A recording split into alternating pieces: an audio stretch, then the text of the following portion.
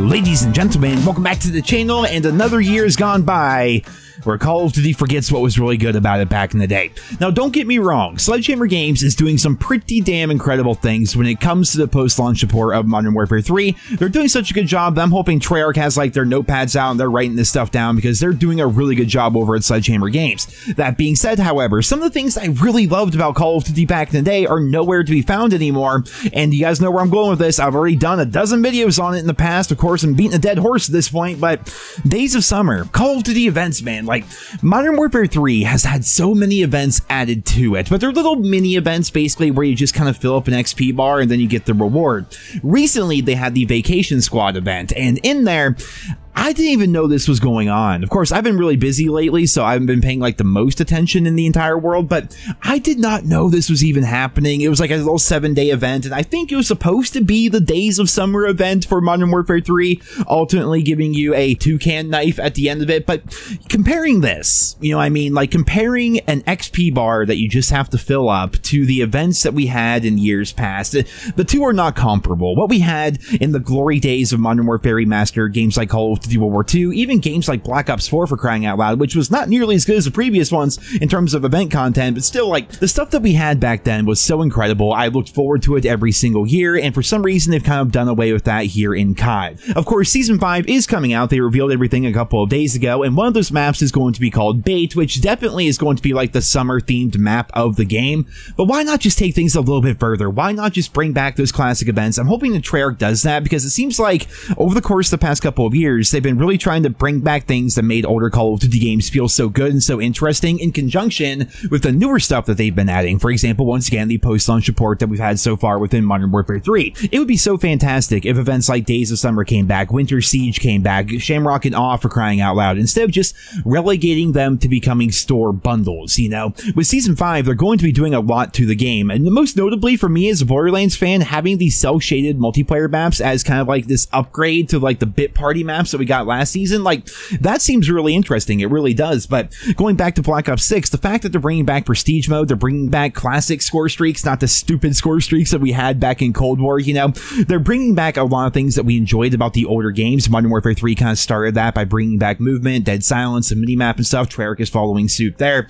The events have to come back, man, because I'm telling you what, like, again, I've been a bit busy lately, so I'm not, like, able to cover every single little thing that comes out for COD or even XDefiant. But I'll tell you what, I had no idea that Vacation Squad event thing was even happening within Modern Warfare 3. I had no clue. People were like, hey man, there's like a toucan knife you can go for. I'm like, wait, what, really? I haven't heard anything about this. Nobody's been talking about it. But I think it's mostly because nobody in my circle plays Call of Duty anymore. They've kind of moved on. They're just kind of waiting for Black Ops 6. And I feel like a lot of people are probably in that same boat as well. I do have a lot of people that make comments on my videos saying that they've quit COD for the year or they've quit COD in general, but they still watch the content because they enjoy it and they like to keep up with things, you know.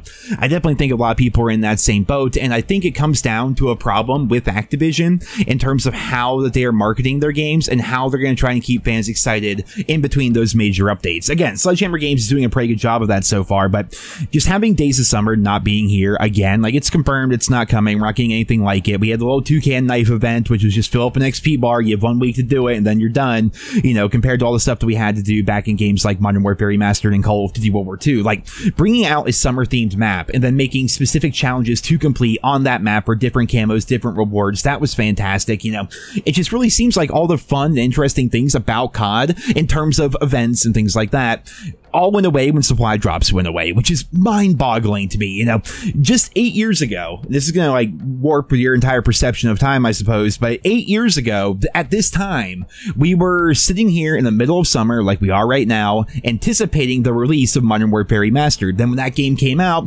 eventually they had all those events. Days of Summer came out. We all enjoyed that, you know, and now there's basically just nothing. And it's, it's just one of those things where it seems like things that were really good about the older games, for some reason, they just kind of get rid of that over time. They slowly phase that stuff out. And we've learned in the past, there's no feature or no content too big for them to eventually just phase out of the franchise entirely, which is pretty crazy. You know, it's a 20 year old franchise. I understand things have to change over time or things can definitely stagnate, but certain things have just been phased out, like the events, which I wish they would stay around. But of course, again, they got rid of the mini map eventually. They got rid of footstep volume, or I guess a counter to footstep volume in the form of ninja or dead silence. They got rid of a lot of the movement aspects of the game. Like slowly they started to fade away that stuff, you know, 100%er. I used to love going for 100%er. I enjoyed that aspect of the game a ton. And then challenges, which used to be such a core staple of COD, just went away. They kind of replaced it with weapon camo challenges, which I get. There's more of a tangible reward there. People use their gun and see their gun way more than they see like calling cards or emblems or anything like that. But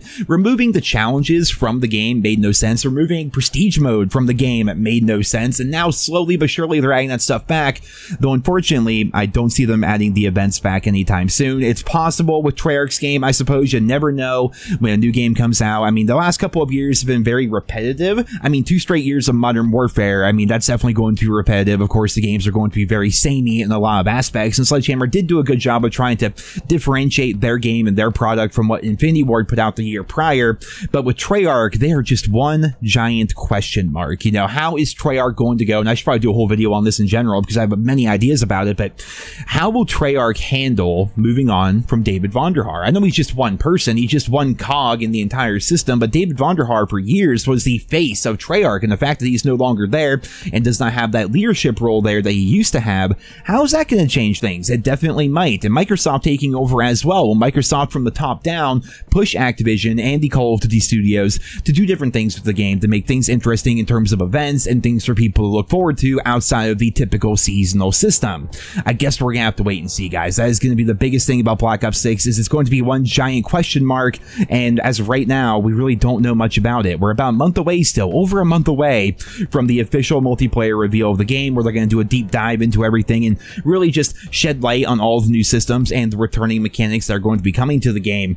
But right now, they're being kind of secretive, and right now they're being kind of quiet in terms of what they're revealing to us. They showed us some things in terms of the omnidirectional movement, but that's pretty much it. You know, we know the movement's gonna be different. We know prestige mode is coming back. We know classic score streaks are coming back. Therefore, they're gonna reset upon death. But aside from that, it's kind of just a big old question mark, I suppose. But going full circle here, back to the beginning of the video, Days of Summer's not here. I'm disappointed about that. I made some posts on Twitter and even like the little YouTube like posting things. Like I'm not even like aware of how that really works, but you can just make like normal like tweets almost via YouTube. I was making some posts about that and the sheer amount of nostalgia that was coming from the people replying to those posts, talking about the good old days of Days of Summer, grinding all the camos that they could while the event was active and enjoying the maps that were released as part of that event, you know, just trying to unlock everything, trying to do everything and not even just Days of Summer, but Winter Siege, Shamrock and Awe, Halloween Scream, which was freaking awesome back in Call of Duty World War II. You know, all that stuff seems to be gone. And that's a bit disappointing. It's one of those things where you kind of just have to take the bad with the good because looking at season five, it looks like they're adding a pretty good amount of content to Modern Warfare 3 and it looks pretty nice, but I still can't help but feel like there's something missing. And that would be the big summer event that we used to look forward to every single year in COD. That's no longer going to be part of it. Guys, that's it for this video here today. I mean, that's probably like my 10th video talking about Days of Summer. Every single summer, I have to dedicate at least one video to the fact I used to love those events back in the day. We had a good run of like three or four years where we had them, and then they just went away, and that was really disappointing. Guys, that's it for this video. I hope you enjoyed it. Leave your thoughts and feedback down there in the comments. Thank you all so much for listening, and I hope you guys all have a wonderful day.